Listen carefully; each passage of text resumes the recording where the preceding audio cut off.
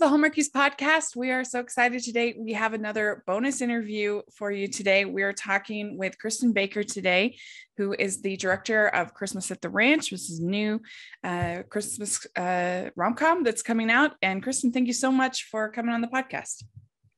Thanks for uh, for having me on. Yeah. So what we like to do in our interviews is we like to uh, learn uh, what was it that inspired you to become a director. At first, when I was making like web series, I was my director because I could afford me as a producer.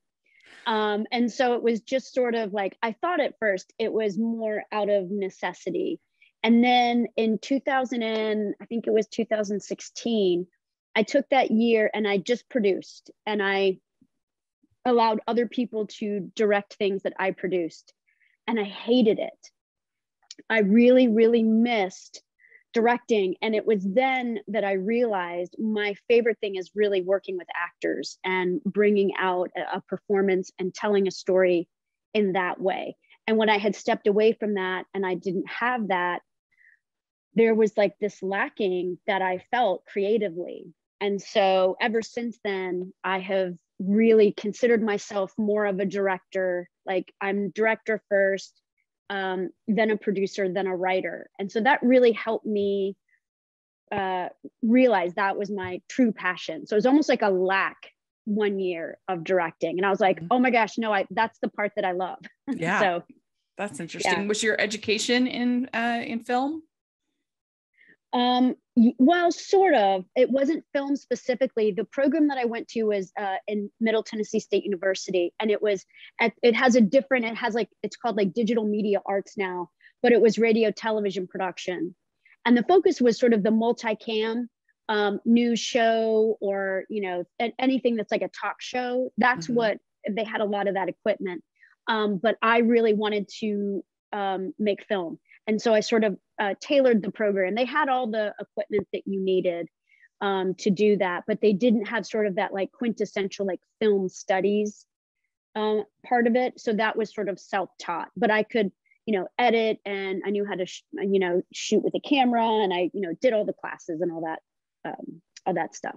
Now, growing up, were you a, a film nerd? Did you, you know, watch um, a lot of movies and yeah. Yes, I was a total film nerd. Um, we would, when I was young, this is going to uh, age me, but when I was younger, um, my family had those big VHS camcorders. Oh, yeah.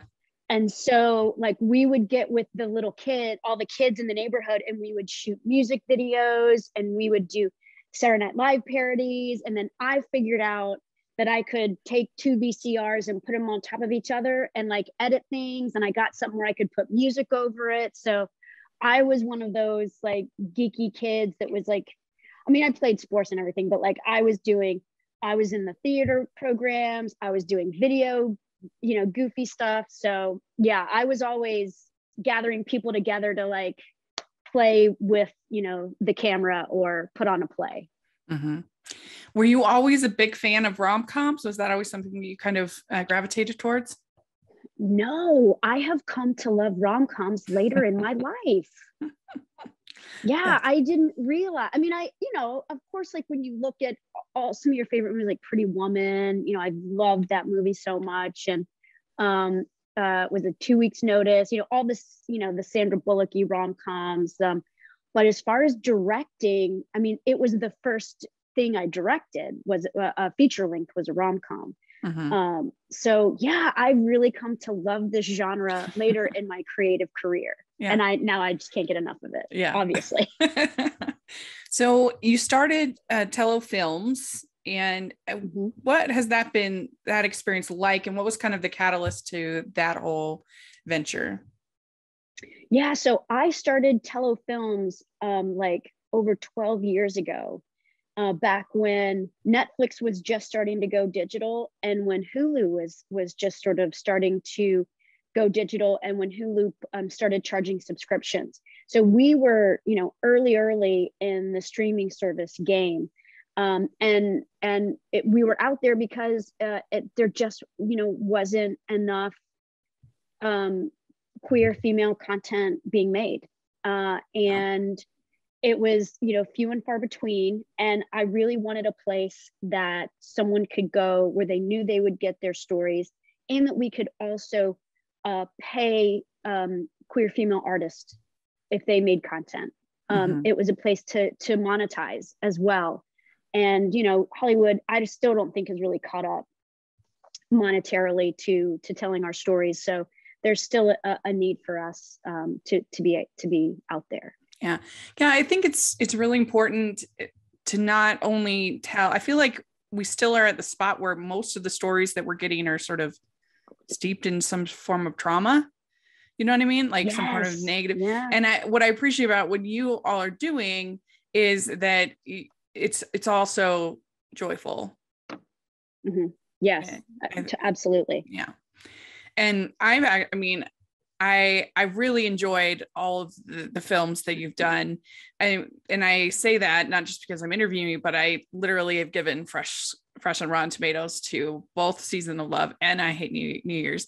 So I've I've enjoyed both of them quite a bit. And I I think what you're doing is really is really just such a adding such a joyous, happy experience to the world. I think it's great.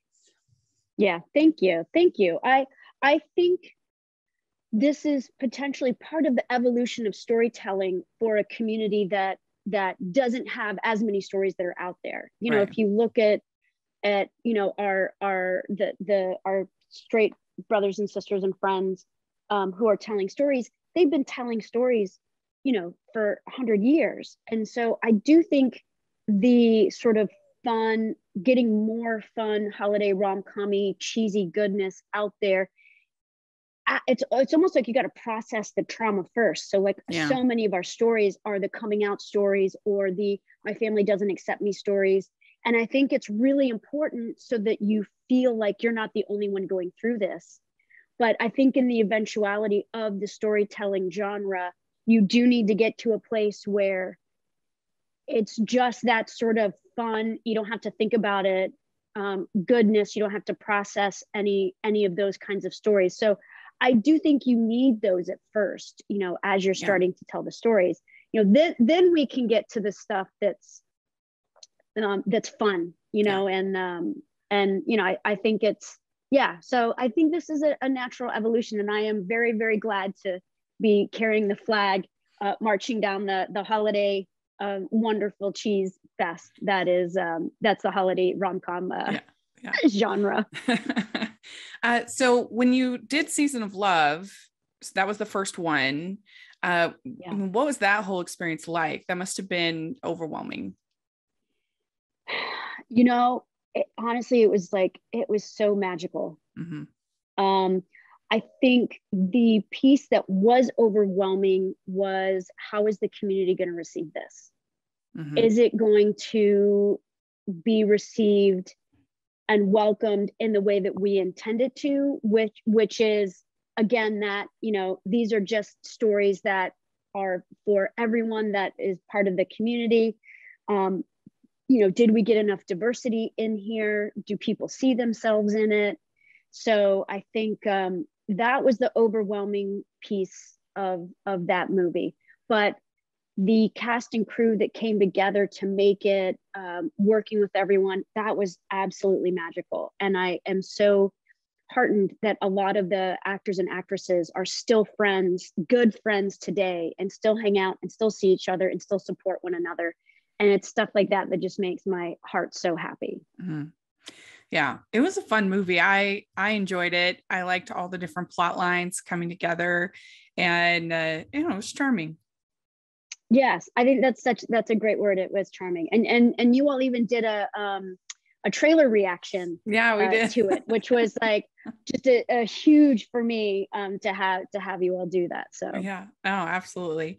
Um, and then I hate New Year's. I think I I think it it's it was showed an even it was I think the script was even better for I Hate New Year's. Mm-hmm. I think it was a little bit more sarcastic, a little more funny um, mm-hmm. and uh, I I really enjoyed it, and it was uh, must have been great to have Dia Frampton on board, especially since there was music mm-hmm. involved. Yes. Oh yeah dia and dia again is is an absolute joy to work with makes a makes a fun little cameo appearance in uh, christmas at the ranch um, and uh, yeah she it was amazing to have her on board and to have her sing uh, all those original songs yeah um, and so that was a that was a really fun uh, movie and experience as well so mm-hmm. yeah that one was that one was great Mm-hmm. Yeah, I always like the friends to lovers trope. That that's one of my favorites. It's a good trope, isn't it? yeah, yeah. yeah. Agreed. Agreed. That mm-hmm. one is that one. That one is fun. Mm-hmm. Uh, so then uh, we have Christmas at the Ranch, and yes. coming out this year. Uh, so why don't you tell us a little bit about it? Sure. So Christmas at the Ranch, you know, we uh, really follows another fun tropey um, holiday rom com, which is City Girl goes home to to her uh, family ranch, which is in trouble, um, and ends up, you know, of course, not liking Kate the ranch hand at first. They dislike each other, uh, and then you know naturally uh, fall in love and uh, and have a, a, lovely swoony kiss kiss at mm-hmm. the end. Mm-hmm. So we hit we hit a bunch of tropey fun goodness in in in uh, in Christmas at the ranch. So yeah so yeah it was really fun and i really particularly liked uh, the social media influencer masonry that yeah. was very funny. That was good. She's great isn't yeah, she? yeah yeah. And i yeah. love that whole uh their their their date together. That was really funny. Yeah. Julie, uh, the writer that Julie Anton wrote that, and I remember the first time I was reading it, I was laughing out loud at that scene. And I thought, you have got to be kidding me. Like, this is hysterical. And I knew exactly who that character was the minute she like opened her mouth. I was like, oh, yes, this yeah. is this is fun. This is fantastic. And then you know the fact that she comes back around i think is just yeah. also like wickedly fantastic yeah that was a good sorry callback. i know she, should I do spoiler spoilers? I think we're okay. Something like that is fine. Okay. yeah. Okay. Cool. That was fun. And I mean, it must have been pretty exciting to have Lindsay Wagner on board. I mean, yeah. that was overwhelming. Hello. That was was absolutely overwhelming. The first time I talked to her on the phone, because you know a lot of the cast, um, one except for Laura, who you know I knew from Season of Love, all wanted before they said yes, they wanted to talk to me on the phone and make sure they, you know, we got a good vibe and whew, I was like so nervous. My heart was beating fast and my hands were shaking. And because, uh, yeah, it was Lindsay Wagner. You're like, you know? it's the bionic woman. the bionic woman. I just was like, oh my gosh. Yeah. Yeah. so it was, uh, yeah. And she could not be a more lovely, easy to talk to, fantastic person. So mm-hmm. I was, I very quickly, thank goodness, uh, was able to get rid of my nerves and like you know be the cool confident yeah. Uh, director that I that I needed to be. But yeah, that was uh whew, that yeah. Was, that was fantastically intimidating but wonderful. Well, I really liked so the leads, uh, Amanda Righetti and Laura Allen, they they had a really fun meet cute where they're both kind of yeah, trying to be that? I did, yeah, where they're both trying to be someone yeah. other than who they are, which is classic rom-com. And uh, right. uh, that uh that was fun. I enjoyed that. Yes. Yeah. I think, you know, Rachel, you said something in one of the podcasts that that I really want to just like highlight and one of your previous, I think it was the the the one that you did when you covered um, the uh, uh, non-hallmark uh, holiday rom-coms. And you said with this genre as long as you have a fun script and the characters have good chemistry you know that that's what this genre is all about. Um, and you don't need like you know you don't need all the money in the world i think is, is yeah. i'm paraphrasing you but and i i really think they have such fun chemistry uh together um that that sort of like box that you need to tick off is you know from from their fantastic performance. And it i think mm-hmm. it yeah it starts right there when they're they're you know they're very much not themselves but it it's very cute Yeah, I mean, people groan at the at the tropes sometimes, but the tropes are really key to making the films work because they help you be immediately invested in what's happening. You don't need because mm-hmm. you have a limited time frame with these movies to make them work. Right. And so right. you have so you immediately know, okay, this is a bad madman of business. I immediately know exactly what's going on, and then you can go right into the story. So I, I, yeah, I agree with myself. Yeah, uh, yeah. The yeah. the the banter and no. the uh and is is, is yeah. key and the chemistry. Yeah, you know? and I thought that was such a great because like right now what I'm dealing with again is since my community doesn't know really they're not used to rom-coms. Like right. they're used to straight people rom-coms but like you throw a lesbian group in there and like i have so many comments on the trailer that's like well now i know how the movie ends. And i'm like it's a rom-com y'all. Like it's a holiday rom-com. You know how all these end. And so i just yeah.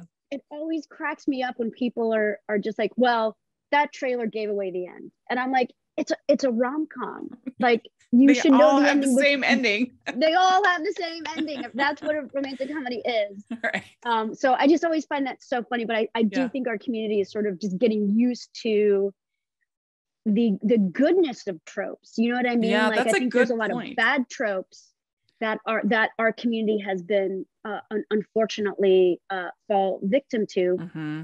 But I, I think we need to realize there are good tropes that are out yeah. there as well that does exactly what you say I know where I am. I know who this is. Let's let's go on the ride. Yeah. You know? That's a good point because that community has hasn't seen themselves in those stories. And so right. it's not something that's like, oh, I've seen this a million times before. No, literally they haven't. Yeah. Yeah. yeah. And yeah. I and and I think it's different when it's the straight community because I think like one of the things that we got from Season of Love, I had so many people write to me or send me social media posts that said, I see that there's a sick mother. Please tell me she doesn't die. Please tell me she doesn't die. And I was like, y'all, it's a rom com. Of course she doesn't die. Like, of course she doesn't die. But but that's yeah. what our community is used to. Someone in this movie is gonna die. It's like, nope, it's a rom com, everyone. we all we all live and fall in love. It's okay. It's okay. You know yeah i'm glad that makes me I mean, it makes me happy that that you have i think is a great thing that you've done to provide this for people so that they can have that joy yes yes yeah. joy that's yeah. such a great word yeah. yep that's what it is it's like don't overthink this everyone just sit back and watch the pretty people you know act on your tv that's right and uh, so I really enjoyed the whole scene with the uh the like the cozy cottage scene where she's oh. stuck there. That was really I, fun. And I like the fact that you kept it very like G rated, very wholesome. Uh and uh it was just cute. It I that is so that was, you know, in, in film terms, that was originally I think like a 13 page section that we had to really get down to like 10 pages, which is still yeah. a, a ton of pages. And so it was just sort of like there's kind of like a joke among, you know, Lauren Amanda. And I was like, all right, everyone, we're gonna be in this tight space for a really long time. So um and and we were and uh you know and it was during covid so we were, were all like masked up and you yeah. know face shields and just you know trying to distance as much as we could but there's only so much you can in that space so yeah that was um that was that was super fun and that's one of the things too when whenever someone's like oh now i know this movie i was like you don't because there's the cutest cabin scene that's not anywhere in there that i just think people are gonna i i, I i'm yes i'm so glad you mentioned it because it's just a super fun scene. Yeah, I love that scene. It was, and then they're like fighting over where to, you know, where to sleep, and and uh, yeah.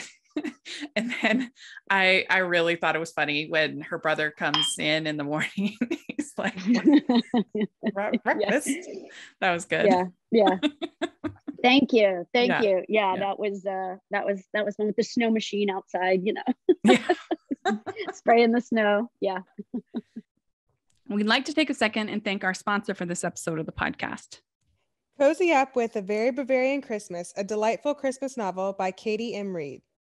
Holly Noel Brigham is trapped back in her hometown personalizing ornaments at the mile long Christmas store, and she doesn't even like Christmas. As Holly works through fractured relationships and embarrassing misunderstandings, she stumbles upon love in the Bavarian themed town from which she tried to distance herself. Bestselling author Crystal Paine says this about A Very Bavarian Christmas. If you're looking for a holiday themed read that will warm your heart, but also make you think this is the perfect pick, the storyline and characters draw you in from the get go, and you'll find yourself relating to their struggles and cheering for their victories. Available in paperback, ebook, and audiobook. Pick up A Very Bavarian Christmas for yourself and the Hallmark fans on your list at averybavarianchristmas.com. That's a very Bavarian You filmed this in uh, Canada or where was it filmed? No, we filmed it in Nashville. We filmed it um, oh. outside of Nashville, Tennessee. And we actually had a snowstorm that hit um, the day we ended filming. It started that night. So the snow scenes that you see where the ranch and the house are covered in snow were actual scenes. Oh, that's um, nice. That that we had. So that was amazing. So you actually filmed it in cold weather. Yes. Uh, if you um, see the the when the horse there's like in the opening the horse breeds, you can see like uh, the voice the, the not, you know mm-hmm. uh, what's it called when it comes the and it's perspiration. Real. yeah. Yeah. Yeah, that comes out like so. Anytime you see that, like we were freezing our tuchuses off out there, which I know is the opposite of some um, shoots in in the holiday rom-com where they shoot in the summer and they're trying to pretend like it's cold it's like nope we were really freezing it was really very cold mm-hmm. yeah no because a lot of times it's in like august in vancouver exactly. yeah yes yeah no we shot in um in february uh oh, early nice. february um outside of nashville tennessee yeah Great. Uh, yeah. yeah. Uh, so, do you find it's easier filming uh, your own script when you've gone to to write it than someone else's script? Yes. Yeah. I I do because I think one of the things that happens is like because so much of it is already in my head, there's not a, a ton of description that's usually in the script. Um, just because I I already can can see it. And i'm like oh, okay I, I got this. So uh, you know as you're writing it you you tend to to see it in your head. So i think it makes it makes your transition to filming it you know it's like no this is what i want. Yeah. this is what i see. This is how i see it. And so you know when i meet with my dp and we talk through the scenes um, i usually have a at least on sometimes i'm like well let's just play around and see what happens. But there are a lot of times where i'm like nope this is what this is. And you just see it in your in your head. Mm-hmm. yeah yeah. Well we're excited for the movie. I, and i think everybody that's open to it will enjoy it. And uh, we like to end our uh, our interviews with some fun silly questions so we have oh, the christmas it. edition yes. and oh did you get this time fantastic. yes so what is your favorite holiday drink um I got cocoa or eggnog or I think a a hot toddy. Ah, very good. Very good. I don't know if that's is that holiday. Yeah. Oh yeah, that counts. I usually only drink it in the winter. I love a good hot toddy. Yeah. Okay. Good. Uh, what is your favorite holiday cookie or treat? Um, my mom during the holidays makes the most amazing cherry pie from scratch. Oh. Where she mm. like like rolls out, mixes the dough, rolls it out, and it is just magical. So that's my that is my favorite um, holiday. Yeah, sounds good. Uh, what is your favorite Christmas song or carol?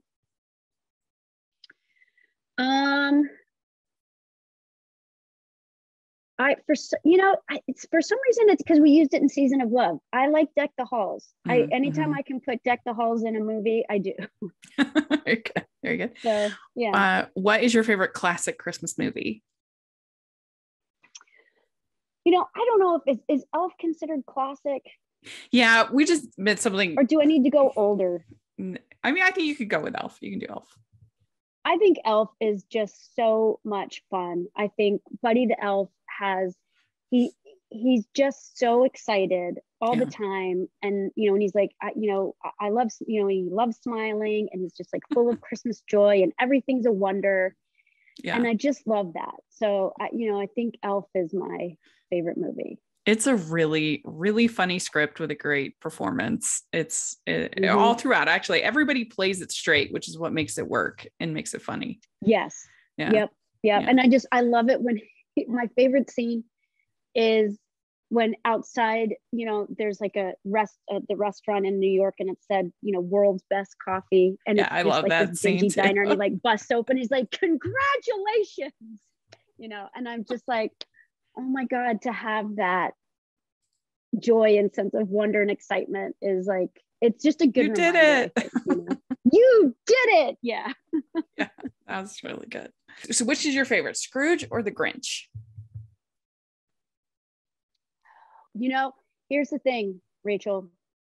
I'm going to say Scrooge, and that's because when I the very first thing I ever directed was um, I have a very large extended family, and I Uh-huh. directed all of my cousins. I was 11, and so they were between the ages of like three and you know 10, and my uncle who was a big ham, and I directed. Um, uh, a Christmas Carol. oh that's so cute with your whole and family so there were always oh yes and so all you know and and i would make my you know my dad and my uncle who were in the audience i needed them to jump up and play like the two beggars who come to scrooge's you know to give them money.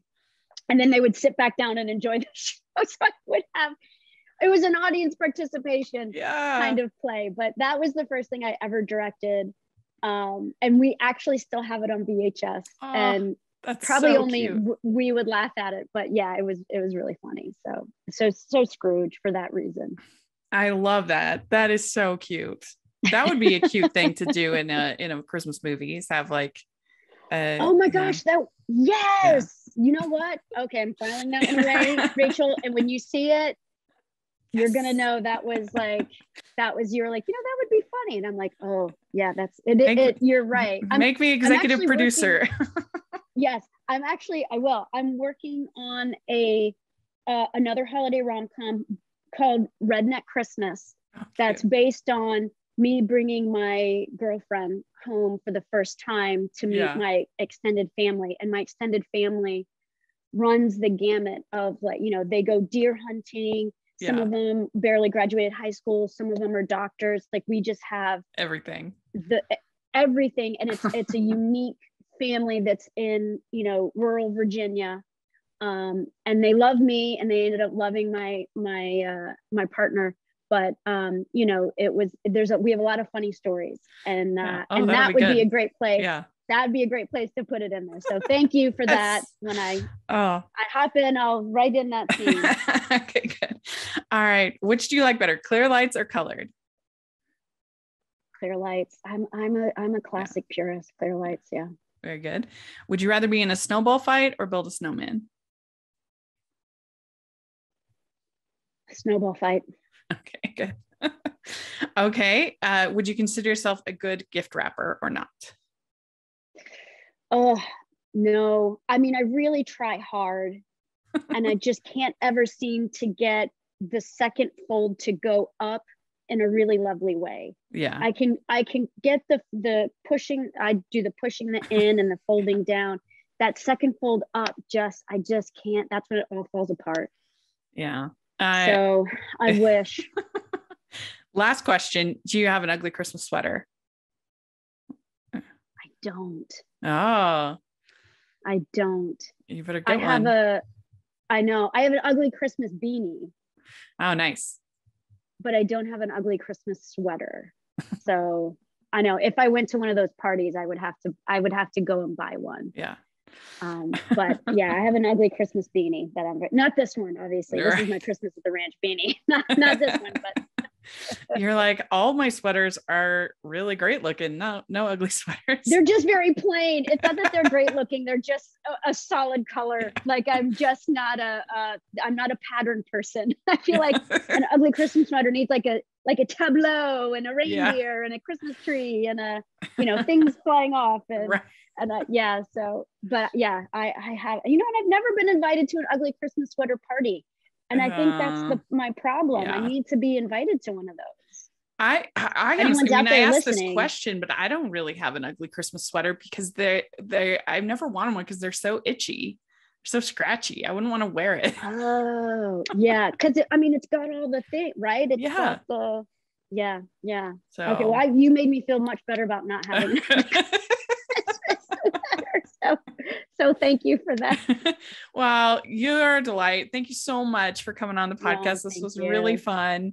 And uh, I listen, I'm a huge fan of what y'all do. I I uh, try and listen as, as much as I can in the holiday season, especially. You've got great guests. I'm just honored to be um, among them. And thanks for supporting uh, and giving us a shout out because it's so important. I think you sort of lend us legitimacy of our our true place in in in the holiday milieu, if if you will. So I I just want to thank you so much for that. Well, you're very welcome. And if people want to watch uh, Christmas at the Ranch, how how can they do that? Yeah, so go to our website tellofilms.com and if you scroll all the way to the bottom or search Christmas at the Ranch in the search bar, um, you'll find where you can buy or rent it. So it's um, it's for pre-order right now and it comes out December 1st where you can rent it um, or buy it. And it'll be on all the major streamers or? No, just on Tello. oh, just on Tello. Okay. Year. Like, like, yeah, Season of Love was the same way. We we mm. kept those both on Tello. I Hate New Year's. You, if anyone wants to watch I Hate New Year's, you can find that on on on all the streamers. It's okay. on VOD and Amazon and and all that stuff. But yeah, we kept Christmas at the Ranch on Tello this year. Oh, so. great. Okay, great. Yeah. Well, yeah. we'll have the uh, information for that in the description. So definitely, definitely everybody check that out. And uh, thanks again. And we'll look forward to talking to you in the future about your upcoming films. Yes. I would love that. Thank okay. you so much. Merry Christmas. Bye-bye. Bye, everyone. Merry Christmas. Like to thank Christin for coming on the podcast. It was so much fun to get to talk with her. I really loved hearing about her experiences. And so let us know what you think uh, in the comments section. And uh, please uh, like this video. Please subscribe to the channel. If you're listening on iTunes, please leave your ratings and reviews. We so appreciate that.